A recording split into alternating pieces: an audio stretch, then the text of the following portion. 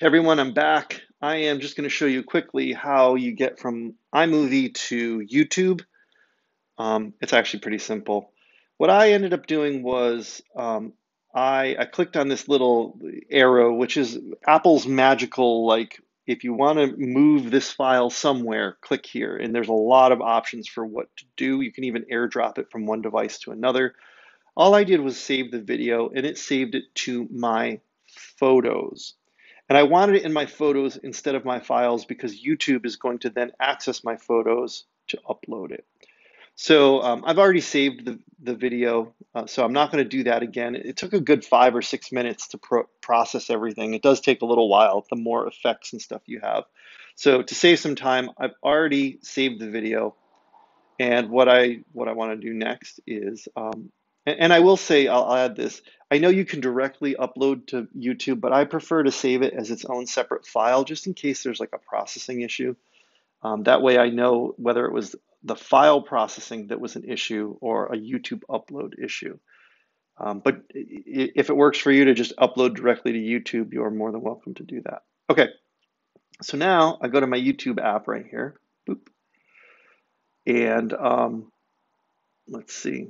There's one of my videos already because I've been playing around here.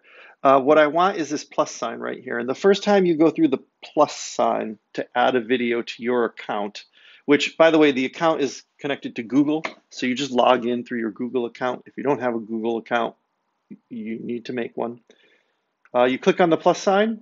You're going to go through a series of permissions. And that, that threw me at first. I actually had to go to Google and search what was going on because I didn't expect it. I expected to see what I see here. But once I figured it out, everything was fine. Um, anyways, to upload a video, it's pretty simple. I'm, I'm going to actually take the last video that I, I did, which was showing you all the, the effects that I put on.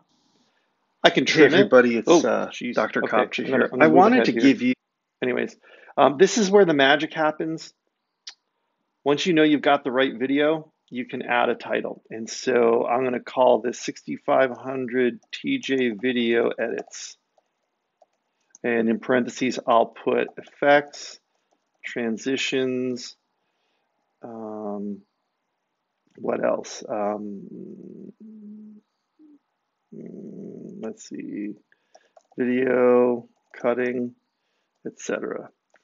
I can add a description if I wanted. I don't. This is the most important thing though. Um, if you don't want it to be public, and I'm going to set mine public, please make it unlisted and don't make it private because we all need to be able to see what you're doing. So unlisted means that if I've got your link, I can still view it. Whereas private means you have to define who can see it and not see it. But if you're comfortable making it public, uh, which uh, in this class, most of the content is fine public, um, I would recommend that. And then yes, it's made for kids. You can say no if you want, if you don't want kids watching it. Anyways, it's just going to upload there. Um, and then once it's done, and I'm going to go to a different, I'm going to go to a different uh, video here like this one. Um, once it's done, you can come here, click share, and copy the link. And then you can do whatever you need to with that link. Okay. All right, so that's how you get to YouTube. Um, uh, once again, my advice is if you don't know, Google it. It's really easy. Google, everything's on Google. In fact, you'll get an answer quicker from Google than you will from me or a classmate probably. So um, if it's a technical question, then definitely Google it. Okay, take care.